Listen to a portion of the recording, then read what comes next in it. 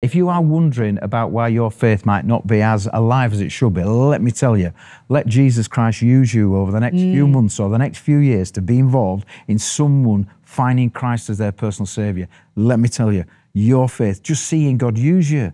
As Yeah. my faith has grown yesterday because of this opportunity. So, working with God, seeing Him open doors, growing in confidence, it's all about your faith coming alive. Hello, viewers. Now, if you didn't know, the Spirit of the Sovereign Lord is upon us because the Lord has anointed us to proclaim the good news. He has sent us to bind up the brokenhearted, to proclaim freedom and release darkness for the prisoners. Now, I like the sound of that. But the question is, how can we do that for others? Well, our prayers have been answered because there is a new app which can show us. It's called I61M, which expanded is the Isaiah 61 movement. Now, the app has been designed for Christians to turn this desire into faith filled, accountable action, to set goals, access resources, and celebrate success. To talk with us more about the app is a familiar face to TBN UK. He is a co founder with his wife of CAP, Christians Against Poverty, and you may know him from TBN UK's series Managing Money. Please join me in welcoming Dr. John Kirkby. How are you? I'm doing very well, thank you. Great introduction. Oh, why, thank you. it's so nice to have you here. Nice, really nice. And you're not here with Cap today. I'm not. You're here to tell us about this incredible app. So before we get into that, Yeah. could you share with us a bit a bit about your journey Yeah. in finding faith Yeah. um, and a bit about your work with CAP for those who don't know? Absolutely. Yeah, so um, yeah, I had a very difficult early life. Um, my father became terminally ill when I was nine. Uh, our idyllic life fell apart. As a teenager, I became a very lost, violent young man. Father died when I was 18, left school at 16. Mother was sectioned, brought myself up. I was an unlicensed debt collector in Bradford and somehow managed to work my way through the consumer finance industry, which all the experience came from. And then, yeah, looked reasonably successful, but behind, yeah, underneath the veneer of success, I was a really broken, broken guy. I was married, two kids. I lost everything. Ended up living in one room with our two girls, struggling to feed them. Wow. And then one man called Paul, um, I don't think he knew what he was doing, but he basically kind of could see I was just very lonely and he showed compassion and cared for me. And of course, you won't be surprised, he was a Christian, he shared his faith. He invited me to church 32 years ago. And I walked in completely broken and received Jesus Christ into my soul. He filled the hole that was gas- a chasm within my heart and began a 30 year journey. So, four years after that, I uh, gave my career up to help people I suspected in my home area with debt that were in debt. I knew what to do. And then, by His grace and with a wonderful team, I had 25 years of building CAP around the UK with 500 centres, but also Australia, New Zealand, Canada, and the States. And three years ago, just really felt a sense of after 25 years, um, it was never mine anyway, it was always his. And I just felt a sense to just hand it on to the teams around the world who have taken it and just see if God had anything else for me to do. Wow. So that's amazing because God used that situation. It was a terrible situation that the enemy would have used for evil, He would. but he used that to give you experience Yeah. in money Yeah. and got you a career. And then Yeah. you were broken, like you said. But then God sent someone to come and save you. And then you use that experience to help others. That's a real slap in the face to the enemy. Absolutely. And that compassion as well. You know, the, Yeah. you know, I know what it's like to put things back on a supermarket shelf. I know what it's like to be judged as a, as a father, not be able to send your kids to school with the right stuff. So it wasn't just that, yes, I did understand the finance industry, I'm very entrepreneurial, but it was the compassion that God had given within me for others and a sense of I'm not going to limit what God can do.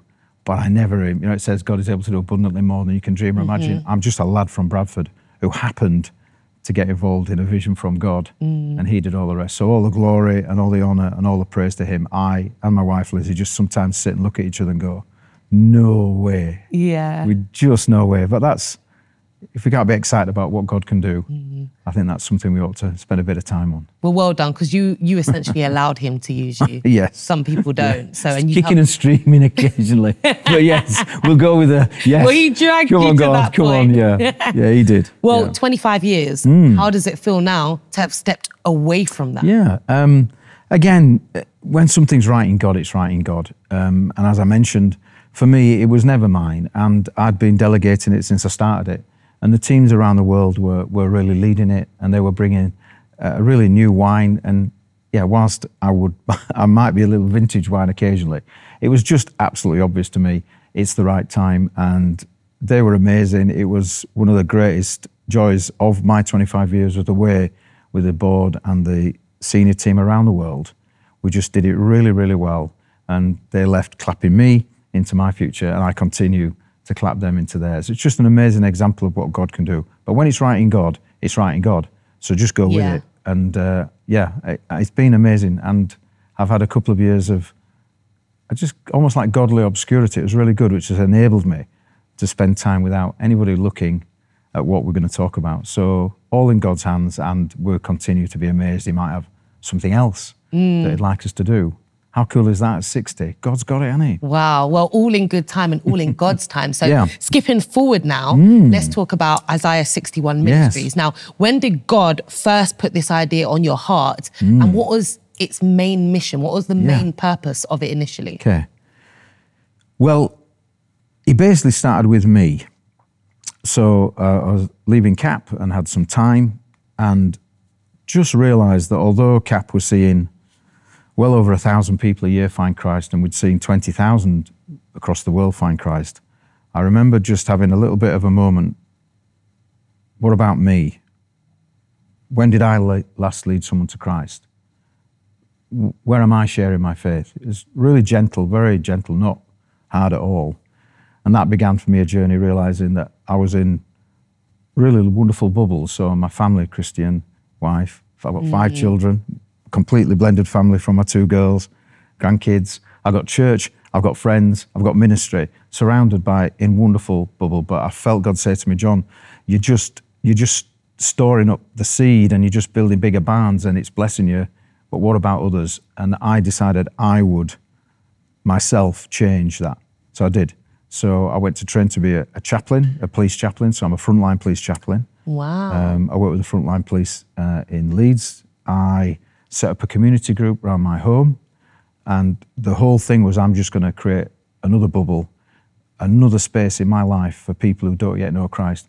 And it has been absolutely wonderful. So the Isaiah 61 movement actually started with me and my wife, inviting people around for cheese and wine, being open to listen to others, asking questions, getting out in the community. You know, we planted trees, bit of organisation, skips, clearing. I mean, it's inner city Bradford, three terrace, rows of terrace houses. It's it's lively, yeah. um, but it's been great, and I've shown and I lived the principles of Isaiah 61 first, and then realised I was not alone.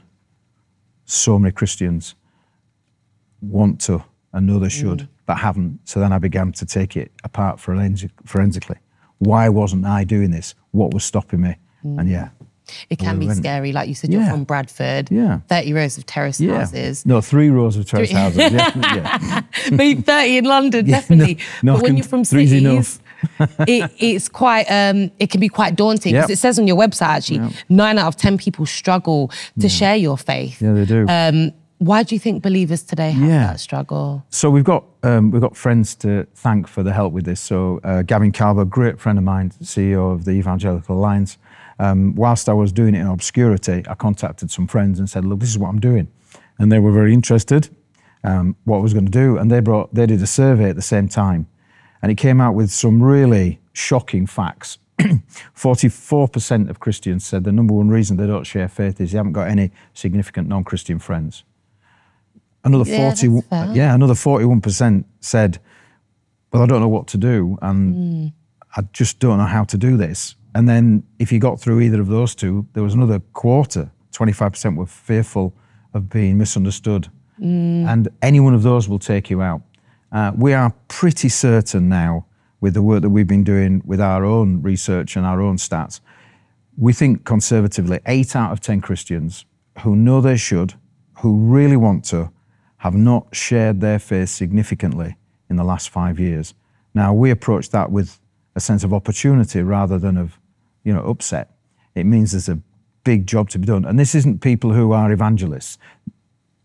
They don't think they're evangelists, but they are people who can share Jesus. And that's what this is aimed at. It's aimed at people who just can't believe they can do it. But I'm here to say they can because mm. we've now got 2,000 people who are using the app after we trialed it for a year. We trialed it for a, we trialed it for a year completely off grid with 500 people to make sure it works. Yeah. And it really does. So I'm sure we'll get more into it. but 2,000 people already. I mean, Yeah. that's incredible. That's how you know it's God's work. Yeah. How many people would you like to see using this app in the nation? Yeah, um, I think one of the things that we've we've realised about the app is is its its simplicity is the thing that really really brings it home.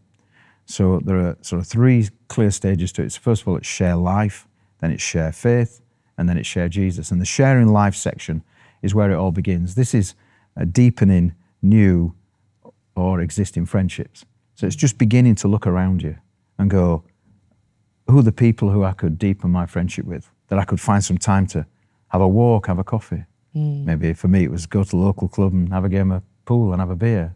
Um, it, it's that simple. And the second stage is around growing in confidence, just to just to share your story, the power of your story. And people say, "Well, I haven't really got a testimony, and I'm not an evangelist." That's okay. You have got a testimony. Do you pray to God? Yes, you do. Have you seen miracles? Yes, you have. Has He been with you in difficulties? Yes, you have. Mm. People say, "Well, I don't know how to make friends." Can you be interested in other people? Can you be compassionate? Can you listen to what they're saying? Can you carve out some time in our busy lives for others? Um, and then sharing Jesus is really all about inviting people based on friendship, based on you sharing your faith, inviting people to experience Jesus. Um, and that's really what that's what I was doing. That's where it all came from. So we we did all the trials, and the first trial of that really just didn't work. Oh, really? Yeah, I mean that's why you do trials to find out what doesn't work. I was What problems did you have? well, basically, um, we came back to the problem of good intentions. So everybody had good intentions to go mm. and have a coffee with a friend, invite somebody from the school gate. Yeah. Everybody had intentions. But good intentions are just that, they're just intentions. Mm. So I realized what we needed to do, first of all, was create something whereby people set goals. and mm, that's really what the app does. The app allows people to set goals. And that is, that's the difference. And that's what me and my wife did. So we started, first of all, on bits of paper.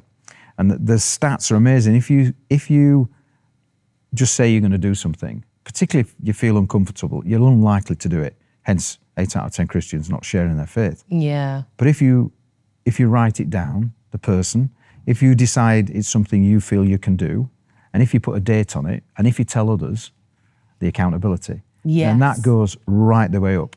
Seven. So I'm currently about eighty percent of my goals. I've been doing it two years. Nice. I've been able to do. Now the ones I've not been able to do, that's okay. It's fine. Um, so we realised, right, let's put something together really simple. So hence building the i61 app, which has been built and tested. And then when we did that, then we began to see some change. And the final thing that we discovered in the third trial was that you don't, we're not meant to do this alone. So you do it in groups, so in your midweek groups at home or in any group where you meet with other Christians, you just set a goal, you talk about sharing life, faith, and Jesus. Set a goal once a month. In this next month, I am going to whatever. And the accountability and the app and the goal setting, plus everybody's, everybody knows they should do this. Uh, people who are watching this, that they're, they're sat in at home and they're going, yeah. People do just that when we mention it. They go, yeah. When did I last be involved in someone finding faith? Yeah. Do I know? Do I know this is important? Yes, I do. Do I want to do it? Yes, I do. So the success of Isaiah 61 is built on people's humility and openness to say, "This is me," and also a willingness to start. It's a bit like, say, couch, uh, uh, most people know the Couch to 5K app. Basically, imagine that in Jesus sharing. So, what's your first walk between the lampposts? Sending a text to a friend asking them how they are. That'll do. So that's how it works. Wow. Well, I think it's like you said, when you have a Christian environment, Christian family, Christian friends, you go to church, you don't realize that you're comfortable. Everybody you know and who you're talking to, you're talking about God, but they already know God. You don't ah, you just don't think about, okay, how can I share this message Yeah. to non Christians? Because I don't know any. And you get really comfortable. So You do. that's actually incredible. And the setting goals, it makes complete sense Yeah. because it's like me sometimes when I'm either trying to lose weight or do exercising more, you know that you should be doing it. You say, oh yeah, I'll start tomorrow. But until you set yourself those goals or you get an app, Mm. Yeah. you, that's when you start taking it seriously. So it's an incredible concept and idea to put that into Yeah. faith and to because some people are not comfortable evangelizing. Not No, everyone will say, not- "Oh, not everyone's Not, not some people. Not some people. Most. Let's just call it out. yeah. the vast majority of Christians, and we think again because we've been on this three years. This is all we've done for three years. One of the main reasons that happens, and, and I definitely resonate with this. So there are people who are who are evangelists, and let's be honest, we all just go, "Wow!"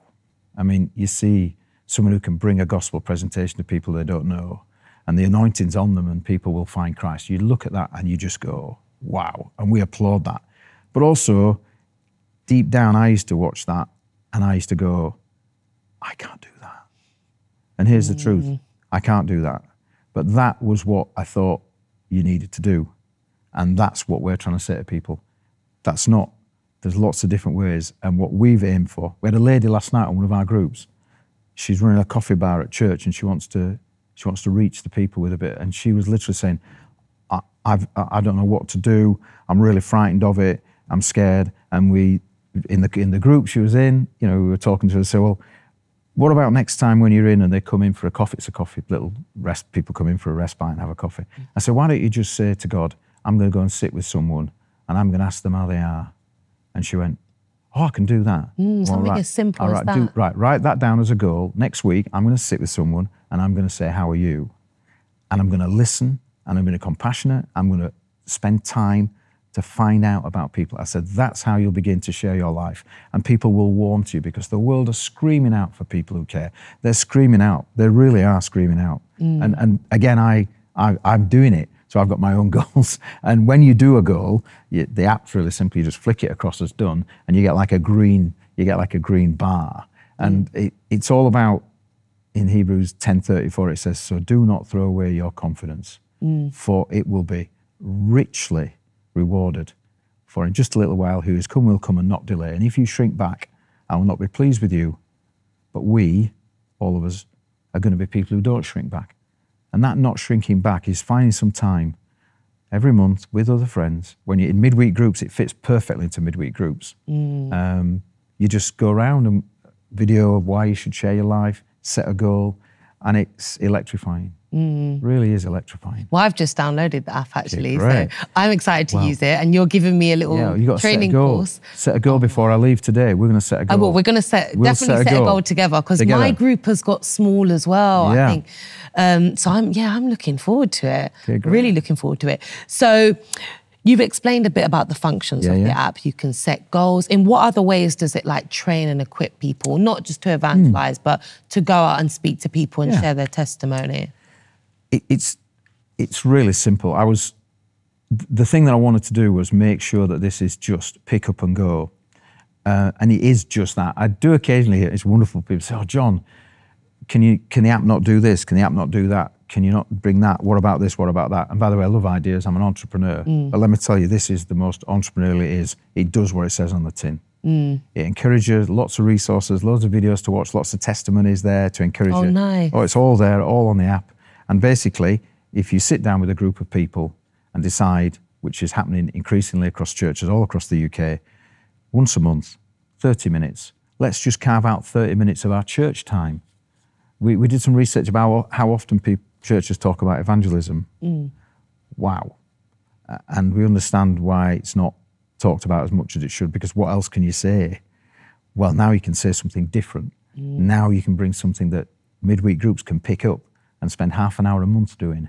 And we put it on a plate. You literally, we've got, we've got new things coming in September where you just literally, it's on YouTube, you just put it on and we'll lead them through a 30 minute setting a goal and you don't have to do anything else. So we're making it as easy as we can and as simple as we can. Listen, find time, set a goal, achieve the goal, grow in confidence, share your life, share your faith, share Jesus. And I have mm. seen Um, amazing, amazing thing. I could just give you an example. It just, it's really, really simple. So I know lots of people now on the three rows of terrace houses. So I was what I had recently had a knee replacement. I was going around on my crutches, and one guy just walked out. I know him really well. We'll say, call him Dave. Came up to me. He said, "Oh, John, you know what's up with you?" I said, "Oh, you know, just had a new knee fitted." He said, "Wow, you're doing well. I watch you every night, just walking another few steps."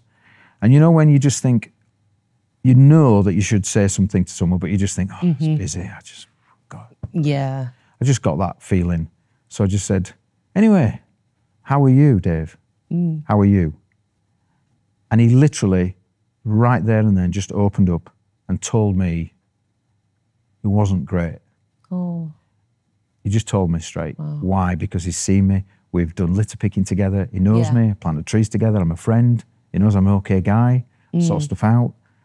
And then I got that other thing where, you know, you're tempted as Christian to go, oh, oh, that's really, really sad. So sorry for you, Dave. Great. And then move on. Yeah, Yeah. no chance. So I just said, stop right there, Johnny boy. You just, God's just opened up a door here. So I just spent five minutes saying, that's really sad to hear. Really sad to hear. Do you know what? I'd love to, I'd love to spend a bit more time with you. Um, do you fancy a cup of tea? Because I think it'd be good for you to be able to share some of that because that's serious. And I want to help you. And he went, yes. And I've actually got the text that I got back from him yesterday. And Really nice. tomorrow, Yeah. we're having a cup of tea at two o'clock. Oh, nice. And I'm going to sit with him and I'm going to listen. I'm not going to bring a gospel presentation. Mm. I'm just going to listen. I'm going to share my life. I'm going to build friendship. As that friendship grows, Mm. I'm going to grow in confidence to share my faith with him.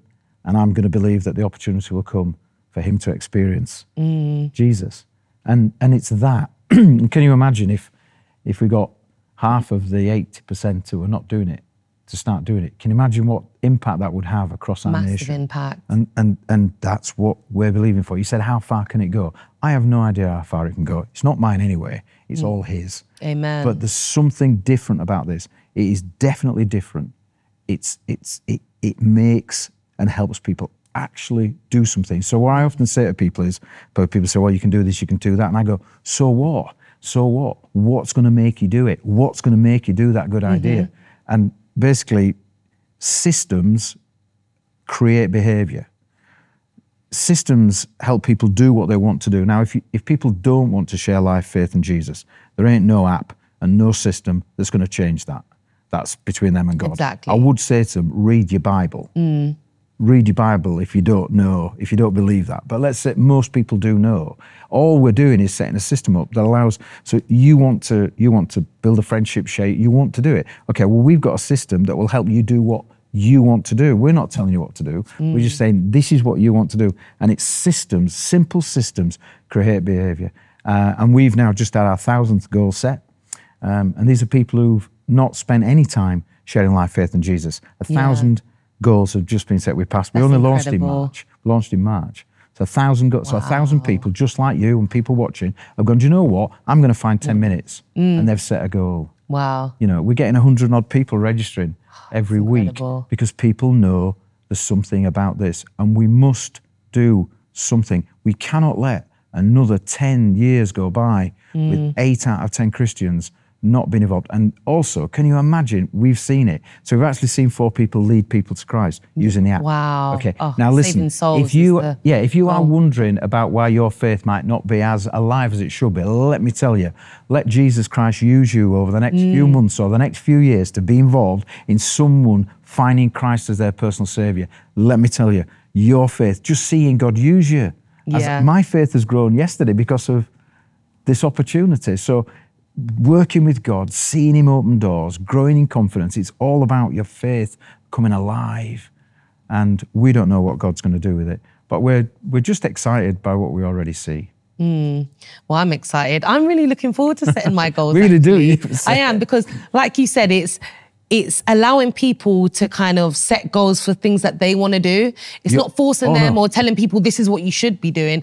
It's a choice. And we don't know what your goal is, by the way. So no goal too small. Yeah. We know that you've set a goal. We, by the way, we don't know. We know that you've set a goal. We don't know what the goal is because that's the joy of an app. Mm-hmm. Yeah. It tells the truth. We know how many people set goals. so we can see God using it and moving. it. Also, it's Mm. gone around. It's started up in lots of different countries as well, and we didn't do anything. Oh, really? Yeah, just we no How idea. many different countries? Well, there were 15 on the on the list on Friday. Got people in Wow. Nigeria. Got a guy in Nigeria set eight goals. Really? Oh, that's incredible. So it's not just nationwide then. Well, we've d- basically worldwide. what's happening is people are seeing it and going, "Wow, this is great," and they're telling Yeah. their they're telling their friends, "Hey," and also it translates into any language Oh, it's brilliant. like that, and also whatever share life is in your wherever you are. So wherever you are, whatever your share life is, this works. Mm. So wherever country you're in, whatever culture you're in, whatever your growing friendship is, it's your goal in your culture. Whatever shared mm. you, it literally cross crosses culture because whatever that is, and every Christian everywhere in the world needs to be sharing life, faith, and Jesus. So Sounds really exciting, but I know the viewers just want to know how can they get involved? How can they download the app? Okay, first of all, it's all free. Okay? Amazing. All free. Uh, We like free. World of the Generous gets larger and larger, so we're giving it away. So you literally go onto your, uh, your app store, i61M, you'll find the app, download, register. There's a little questionnaire that you'll need to fill in, which is all going to get you thinking about it. That's the first thing. Secondly, we run i61 Live twice a month, where mm. basically anybody can drop in for a 30 minute online example. So we run the we run it for 30 minutes to show people how to set a goal. nice. i61 Live, that runs twice a month, and it'll certainly be probably running more in September. All details on the app and the website. Mm-hmm. And the second thing we've got is we realise that lots of people kind of can be quite isolated from doing it in a group. So uh, we've now got My i61 that's just being trialed and we're ready for September, where literally you can join a group online Oh, and you will do your own group with a group of people. So that's i61 Live is where we help you set your first goal and get you going. My i61 is where people can actually join a group. And also, we would say, please, please speak to your church leaders, get mm. them to contact us so that we can help them. And we're partnering with churches across the UK to really make sure we get this embedded into the church culture and into midweek groups. So it's all there. Just come and see us and have a go. Amazing. Well, thank you so much for Thank sharing. you. We've got some work to do because I need to do my goals now. So we're going to crack on. But thank you so much for joining us. Yeah, thank John. you. Thank you for being so enthusiastic and encouraging. And thank you, yeah, TBN for your, yeah, just for the way you are. It's amazing. Thank you guys for tuning in.